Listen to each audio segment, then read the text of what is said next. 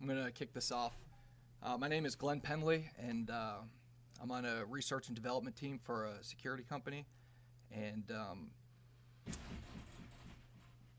this talk was supposed to be on JavaScript deobfuscation. Well, that's what it says on the paperwork anyway. Um, it's actually going to go uh, more of taking a basic attack and walking through how malware gets from A to B. We're going to break down code. We're going to be deobfuscating some JavaScript, but it's not going to be an hour long walking through JavaScript code samples. Um, you know, it's it's it's kind of funny because the uh, I I don't speak that often at conferences and stuff like that, but every time I've ever been asked to speak, it's always always been after lunch, and half the people have always like fallen asleep during my talks. So uh, it's a little interesting now that it's right before dinner, and um, We're awake. yeah, you're awake because you're just No questions now. yeah. Except for power cycle. So hopefully this will be. Well, hopefully you're not asleep still uh, halfway through it, but um, it should be about. I'm hoping between a half hour, 45 minutes, and um, the reason why I, I kind of wanted to go over this concept or this this talk is because when the salespeople in my company actually have me go and talk to people, um, I've talked to some really smart people, but I mean, people that can reverse engineer a piece of malware better than I can, but they have absolutely no idea how the malware got into their environment. They have no idea how their IPS just completely let it go by, why AV didn't detect it, why, you know, all those other things. So what I'm going to do is just take this basic example and just from start to finish show how um, how you can evade the IPS, how you can evade firewalls, uh, AV, sandboxes, and all that stuff. Sound good?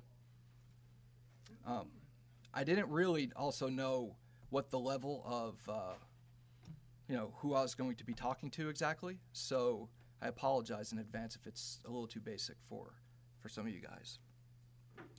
So there's only three slides that we'll look at. Uh, this is the most um, in-your-face slide. Um, what it's it's kind of representing what we're going to be going over. So the first thing that uh, as a part of the attack we're going to look at is actually getting you know the landing page, how somebody you know, um, you know how you get somebody to click on it. We won't really go into that too much. We're going to really start once you get to the landing page. Um, and then from there, we're going to go really to the escalation, like looking at the JavaScript, looking at some JavaScript packers, uh, just some obfuscation in general. Um, and then go over the concept of noise reduction. So we'll, we'll break down the code and look at how, after you deobfuscate the content, you know, in the JavaScript, how it's, it looks at what operating system you're running, what browser you're running, different things like that, and then makes the determination on what exploit it's going to run. So we'll go through all that type of stuff. Um, then we're going to look at shellcode and then, you know, actually break down the shellcode, not not too much. We won't look at the assembly or anything, but we'll use uh, some utilities that we've my group has written and uh, show you what the shellcode was trying to do, and then show how that's an example of more noise reduction with uh, evading sandboxes. And then lastly, the actual movement of the malware, so encoding and different stuff like that, and how you know things like magic numbers and just simple XORing could easily beat almost all host-based, you know, uh, security stuff today. All right, so that's enough with the, the slides for now. So before we just jump right into um, the code itself, you know, we have to at least briefly talk about how people get onto the landing page, where they're actually going to get directed to get exploited and stuff like that.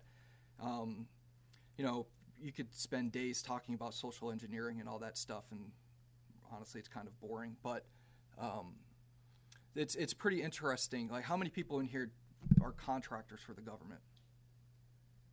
It, it's it's kind of sad to me um, to kind of say this, but it is ridiculously simple to kind of target contractors in the military or in the government in general.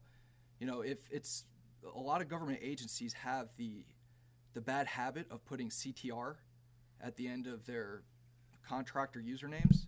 I just I. I, well, I, I know they do that, but it's that's not that's not the smartest thing in the world to do. You know, when when if you think about it, um, I've proved this point with a friend of mine who works over at DISA, that if you if you have like for example, whenever somebody sends out a, a, an RFP or whatever they call it to to get contracts and stuff like that, it's all public domain. And what will happen a lot of times um, is that I mean it's public knowledge. You can see who wins the the award and stuff like that.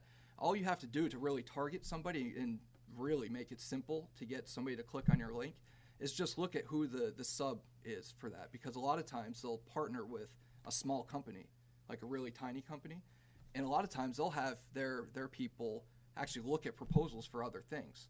So by you know just doing a few hours of research into figuring out who won a certain contract and let's say SAIC or whoever the, the big contracting companies are, they may have partnered up with little company A.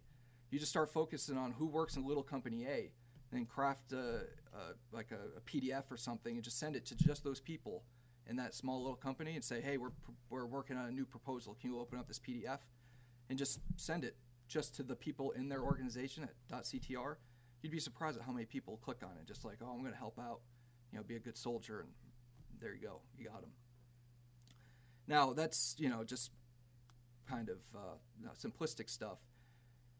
More um, as far as like targeting and, getting people to click on things. You know, Aurora happened a few years ago. Everybody's heard about that by now.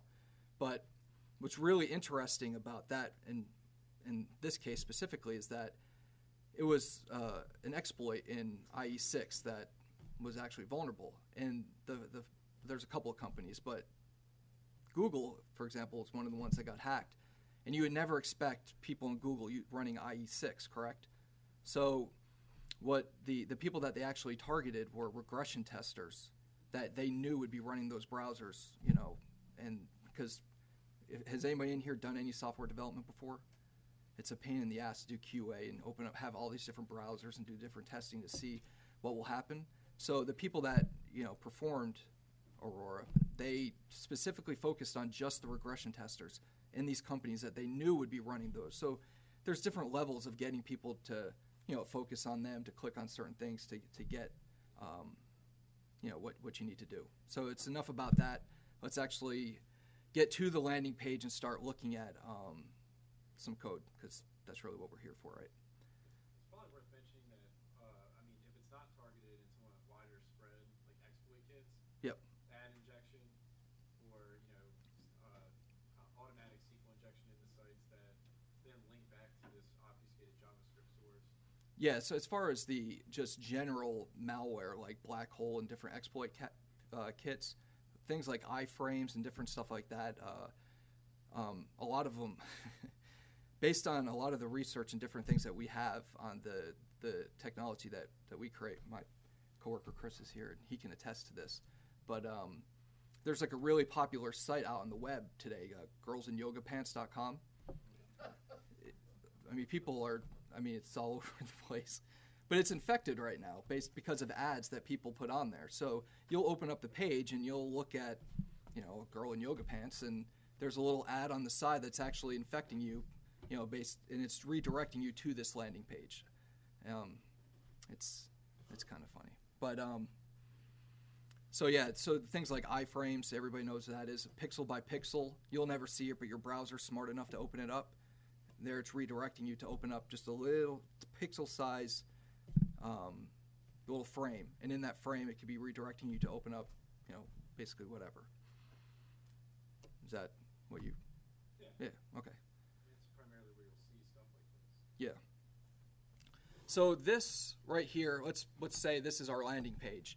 Um, technically, our landing page in this attack, and this is actually a real attack from. It was a, an IE zero day that came out, I think, last April or May, so it's a little bit older now. Um, but this is the the entire code sample. Um, it actually started from this was the page and it just redirected you source login.js. So your browser smart enough, you open up login.js, and this is what we have. And this is an example of, uh, of a JavaScript packer.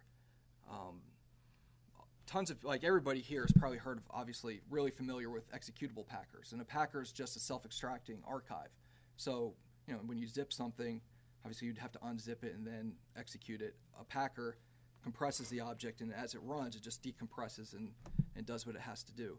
The reason why, from an executable standpoint, people love to use uh, Packers is because it changes what looks like the content of the, the file itself, but the code is um, is the same. So you can get around uh, like signature based uh, AV stuff that are looking for certain MD5s and different things like that. The Packer will actually change what the executable looks like um, pretty easily. Now, a lot of people that I've talked to, um, surprisingly, have no idea that there's JavaScript Packers out there, and this more than anything is, um, you know, you see see tons of if you really look for it. This, um, you know, the reason why uh, JavaScript Packers are actually really, really hard to um, to kind of deal with is because so many people on the web use them legitimately. If you go to almost any site on the web, any legitimate site, like big name site, they'll have their code obfuscated and they'll use Packers because they want to protect their intellectual property. So there's companies out there that are solely designed. This is uh, an example of one. It's like JavaScript Obfuscator. This is a pretty good one. There's another one I forgot what it was. Maybe Chris afterwards can can bring it up. But for like for ninety nine dollars, you can sit there and, and you can. It's a really solid Packer that all they do is just are designed specifically to not allow anybody to to deobfuscate the JavaScript in their code because they're protecting intellectual property mostly on legitimate sites. And their whole purpose is as soon as somebody breaks the, the obfuscation, they just release a patch and then you have to start all over again. And if you ever wanted to actually get around security tools, the way a lot of hackers are doing it with JavaScript Packers is by these tools. They'll spend $99 and there's really nothing you could do about it. An example of why security tools, even though it's easy enough to, um, the same with executable Packers, is to be able to define it. For example, here, this is an example of the Dean Edwards Packer. Uh, this has been around forever. Um, easily enough, you could write a signature that looks for something like this and say, you know, when I see function P A C K E D. First of all, can everybody see that? Okay. It's easy enough to, to kind of define that and say, you know, when I see this, I know this is the Dean Edwards Packer. Um, it's it's kind of a funny story. Uh, back in 2007, um, you guys remember the the Orkut social networking attack? A lot, of, a lot of people haven't heard of it. I have never even heard of the Orkut social network before until this happened. But um, this this Packer, um, the Dean Edwards Packer, was around before you know the summer of 2007, and it was used legitimately just to kind of compress the content in, a, in the JavaScript in their page so the page can load and do all the stuff that you would legitimately use a Packer for. And then around the fall of 2007, um, you know, different hackers started using this Packer for malicious reasons. So a couple of different security companies decided whenever we see this, we're going to just start blocking the traffic and we're going to think it's bad. Well, all hell broke loose and people were just, they couldn't connect to their sites. And so the security companies relented and they took it off of their, you know, their other DAT files and signatures and all that stuff because there's the uproar of, you know, looking at the function packed and firing on it just caused people just to go ape shit. So, um, so what happened was like in the November timeframe, they took it off all the lists and stuff, and then in December, 700,000 people got their accounts exploited because on that Orkut social network with this just using this Packer alone. So, it's um, if you really wanted to get around, you know, from a, a packing standpoint, it's easy enough to define it and to be able to say, yep, that's that packer, yep, that's that packer. But people, security companies anyway, aren't going to start blocking them. So what we're going to do now is we're going to actually take this, and this is just a simple compression uh, packer. There's nothing really uh, special about it. What we're going to do is we're going to go ahead and put this into JS Beautifier, which is typically used if you're doing like uh, JavaScript, you know, coding and stuff, and you see when people just do normal compression, it's hard as heck to read. So you'll use uh, you'll use this to just make it more le- legible. Um, what you can do here, like in this site, I'm sure you guys know all about this. You can actually see detect packers and obfuscators. It could do basic ones. Um, anything more like the next one we'll look at, it, it won't do too too good of a job. So what we're going to do is we're going to just break this down, and this is going to be our first example of where the, the whole concept of noise reduction comes in. So you know, just because you can obfuscate and get past this, the defense, you don't actually want to ever run your code if you're going to get detected when you do run it. You want to be as stealthy as possible. And this is just that first example we're going to go through. Um, how many people in here just know JavaScript? Most, most people do. And even if you don't, you could probably just read this and figure out what it says. So the first thing we're going to do in this, uh, when we look at it, is we're going to figure out what the operating system is that the that the code is calling for. So you can see here, it's just a, a simple, you know, if-else type statement here, just basic logic. So if os info.index of Windows NT, you're going to return a value of WW50. And if that's true, then it'll continue on. If NT52, return this value. If 5.1, return this, so on and so forth. Um, you'd be surprised, especially a lot of younger guys, have no idea about the whole NT stuff. Back in the day, NT40, um, they still actually, after NT40 came Windows 2000, that's when they really started naming the stuff. The, the machines actually, even today with Windows 7 and stuff, return back a value, things like Windows NT 5052 61s. For example, 6.1 I think is Windows 7 in 2008 release candidate 2. Uh, 5.1 is XP, I believe this is Windows 2000. And so depending on what operating system you're running, basically, it's going to return a value uh, associated with that. So next thing we're going to look at here is the actual browser that we're running. So if you're running MSIE 8, return 8, 7, 7, 6. If you're running Opera O, Chrome G. It's, it's just basic, simple logic, right? And this is where the noise reduction really comes into. So if operating system comes back ww51 and APPI, which is the browser, returns 8, open up this HTML page, login 8.htm. Else, if operating system is ww51 and you're running IE6, go to this page. Everything else go to login.aspx. So you can see in this attack, the attacker really has two different exploits that he's trying to that he has available to him. One that's going to exploit, yeah, like I said, Windows or yeah, XP is 550 would return 51, i.e. 8 and 6. So he has two different exploits for these different browsers and, and OS pairs. Anything else, if you're running a Mac or anything else, it's going to send you to this this benign page. There's no reason to try to infect a machine that can't be infected and potentially, you know, bring, you know, notice to yourself, right? So let's pretend that I'm running XP in, in um, IE6 and go open up login6.htm. So here we go. We see this HTTP traffic, or um, HTTP traffic, HTML, and here we see the JavaScript. Tell you now, this isn't typical JavaScript that you'll see in a web page. Whole lot of numbers. So before we deobfuscate this content, start looking at some more stuff. This is really where I want to talk about the, the whole concept of normalization. Um, it, it's a pretty common term. Everybody's had some sort of familiarization with the term normalization. Well, the, the concept is, and this is really how we'll, we'll see this with when you're dealing with uh, later on in the attack as well, when you're dealing with getting around AV engines and, and different things like that. The whole concept of normalization is trying to take whatever the content is and gain value out of it. So, in, in this case, let's say the traffic going across the wire, if you're look from an IPS standpoint, if you wanted to evade any type of IPS, IDS, or network security device, you know, in different ways, all you have to do is just figure out how that that security tool tries to normalize traffic to be able to either, you know, pattern matching or do whatever it does. If you know how it functions, you just have to uh, to make it so it can't normalize the data, gain a value, and then apply the whatever it does to determine if something's good or bad. That's why JavaScript obfuscation is so useful in, in attacks today because IPSs, IDSs, and different different tools can't normalize the traffic in real time. You know, as you'll see shortly, when we actually deobfuscate this content, every single network security tool in the world would be able to say, "Yep, this is bad," and fire on it. But when it's in this sort of format, it can't. Um, any questions up to this point?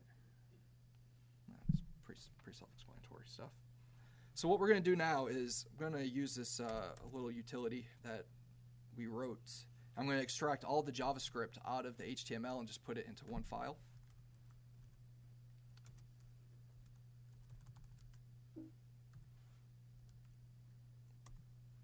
Whenever I type in front of a large amount of people, I just can't do it.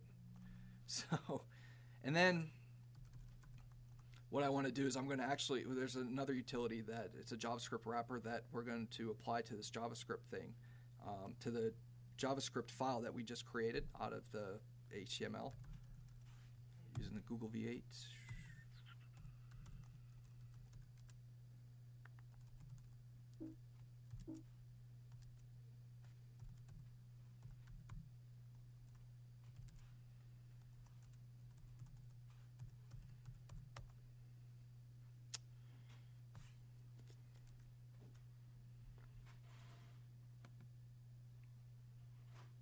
Hey, Chris, he's right back there. What exactly just happened?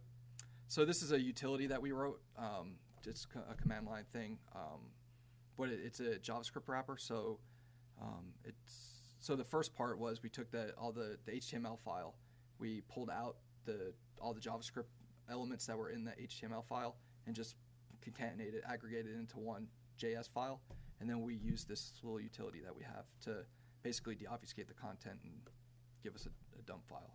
Does it emulate the functions that JavaScript would do? Um, How does it go through doing that particular process? Like there's V8 and there's SpiderMonkey. So it's Where's it proprietary? it's kind of proprietary. Um, afterwards, I can explain it a little bit more. Um, so Chris back there, he's uh, the one that actually wrote. Yeah. Okay. So afterwards, we'll we can discuss up as much as we can um, with it, that's what you guys want to do. So here's the the deobfuscated content. Um, as you can see right here, I mean anybody in the security field should know right away. It's a bunch of shellcode, coded shellcode. You can see the U0C90, U0C90. It's, it's right away, you know it's a heap spray. It's it's pretty. I mean, we're not going to break all this down. You can just see the, the looping and how the obfuscation actually happened. Um, what we're going to do now is uh, actually let me just before we actually break like like take this this shell code and just show you what the shell code was trying to do with a, a- another little utility that we wrote. Um, I actually went on site one time with some salespeople, and I was kind of explaining the whole idea of JavaScript obfuscation. And one of the guys there was like, "Yeah, but there's only a few people that actually can can make those big long lines of numbers and actually uh, obfuscate JavaScript." And I kind of looked at him. I was like, "No, actually, it's, it's pretty simple. Like 99% of the people actually just copy and paste things. They don't really know what they're doing." So so I, I showed him an example of this. It's actually really cool. It's called JJ Encode. Have you guys ever played with this? It's actually a, a really cool JavaScript uh, obfuscating tool. There's also another one called J, um, JS four-letter expletive that begins with the letter F. Um, just Google it and it'll bring you to the site. It works really well as well. So I, I, had, I showed him this example of, of this little tool. If, click the eval, you can. Oh, sorry, that's obnoxious. You see alert hello JavaScript. We popped it out here, and I showed him you can just change the variable name right here. So if I wanted just to change from instead of dollar signs, I just wanted to use Glen as my variable name. You see, it still works. It's it's quite simple just to change how the obfuscation works. You can even palindrome it, palindrome it. You have 2,200 2,203 letters, characters, just to obfuscate alert hello JavaScript. So it's uh, it's a pretty cool thing. There's a ton of them out there, and I just showed him how you can just copy and paste your code into this and do exactly what he said. It takes somebody that's crazy smart to be able to do. So I just want to kind of bring that up. So, so here we have our, our, our shell code, right? So now what we're going to do is we're going to use another little utility we have called, uh, it's a really great name for it, called the shellcode detector. And um, what we're going to do is we're going to um, take a look to see what the um, shellcode was trying to accomplish. To make it nice and easy, all you gotta do is just look for the English. Can everybody see that? Let me make it a little bigger.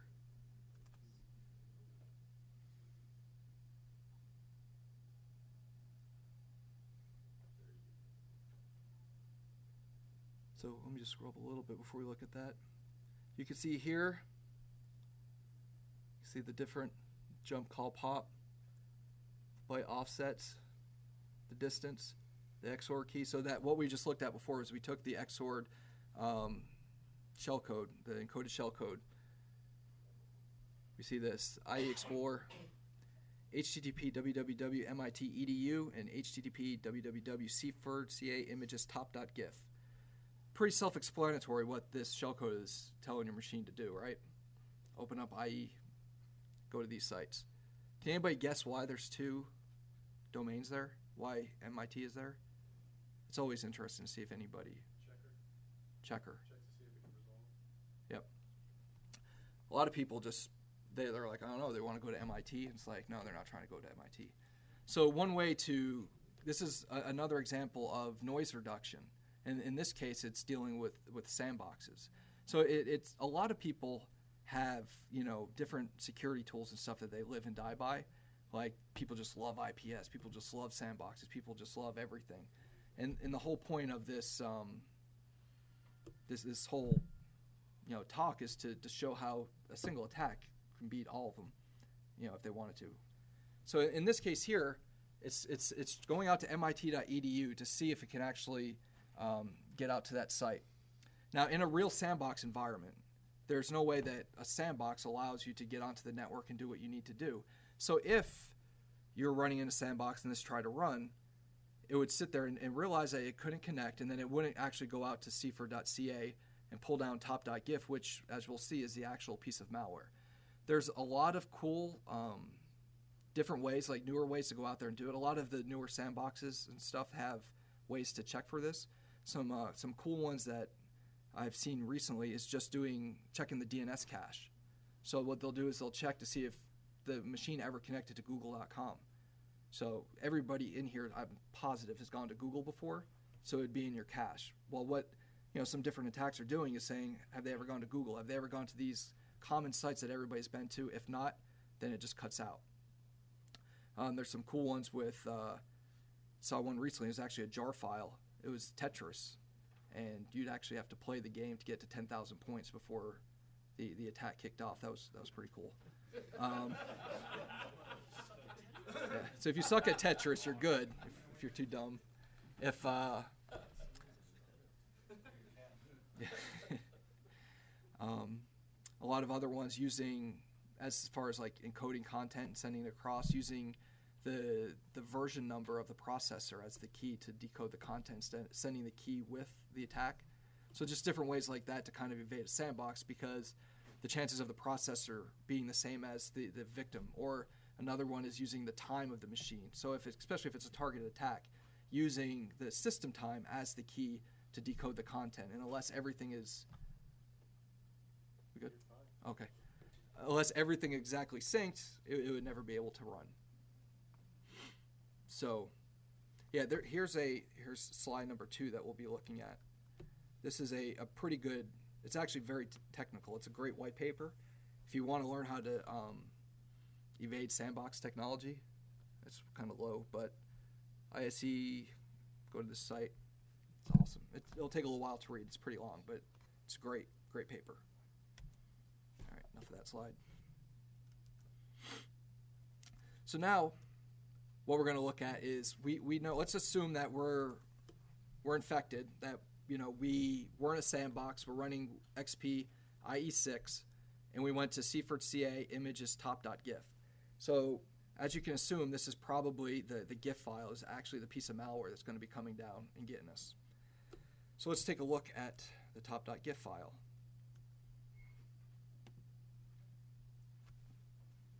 excuse me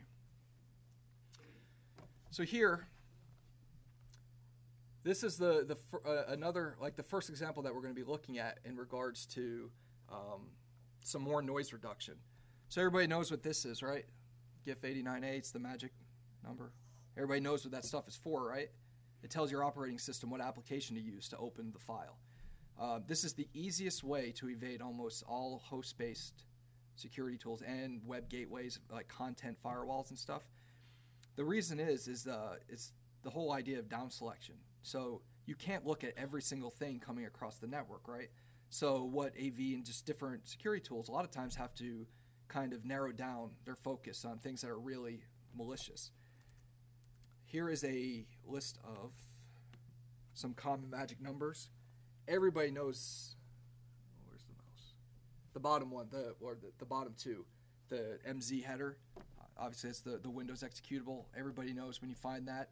It doesn't matter if you re- rename the extension, you know, hello.txt. You know, the magic number is usually still MZ in the case if you're renaming it there. A lot of people I find curious have no idea that you can use ZM as well. So a lot of times, if people are writing custom signatures looking for something, uh, like file specific, they're only look for the, the MZ header and the stuff and have no idea that ZM even exists. So in the case of like antivirus and, and like web gateways and stuff like that, if they saw this file coming across the network, they would assume it's just an image file, right? It's a GIF file. How bad could it really be? I'm going to keep looking for executable files for MZ. Maybe I'm going to look for some, um, you know, Java file, uh, whatever they, they're going to be looking for. But the easiest way to evade those type of things is just to put the magic number in he- ahead of the file, and I'll show you exactly an example of using a, the uh, Anubis sandbox. It'll just completely not even take a look at it. So what we're going to do now is we know the magic number is is says GIF 89. It's um, it's not actually a, a GIF file though. What we're going to do is use another little utility called Xfile that will take it's actually a, an encoded file and it'll decode the content and rip all the, the actual encoded files out of the, the GIF file.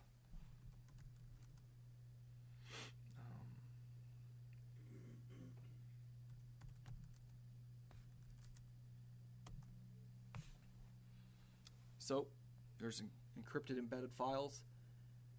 We see here, so top.gif. First one is DLL is corrupted. That's what all those little question marks are for. Here you see the XOR key. It's a 32-bit DWORD key. It's a DLL. DLL. The last one's the actual executable. So in this, if you actually look at, you'll never see MZ anywhere in this content but just by decoding it, by putting the GIF89, making sure an AV engine and stuff aren't, won't look at it, and, and encoding the content with just simple, simple, well, with XOR, you can completely get the, the file itself across um, onto the box itself. So what we could do here is to kind of prove a point, we can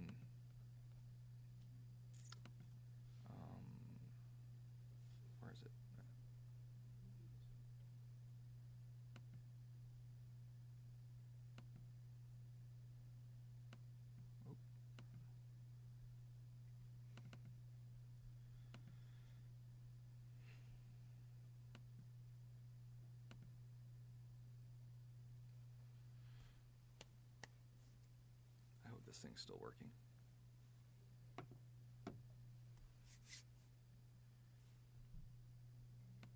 So, uh, let's see, I've done this before.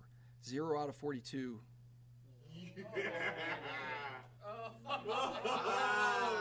Yes. That's how I wanted to leave the presentation.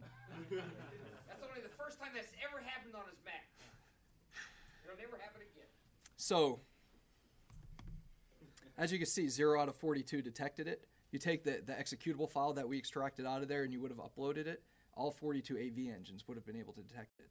It's the same concept as normalizing the traffic like we did with the obfuscated JavaScript. If we once we deobfuscated it, everything would have been able to tell you, oh, that shell code, you know, that's trying to do a heap spray.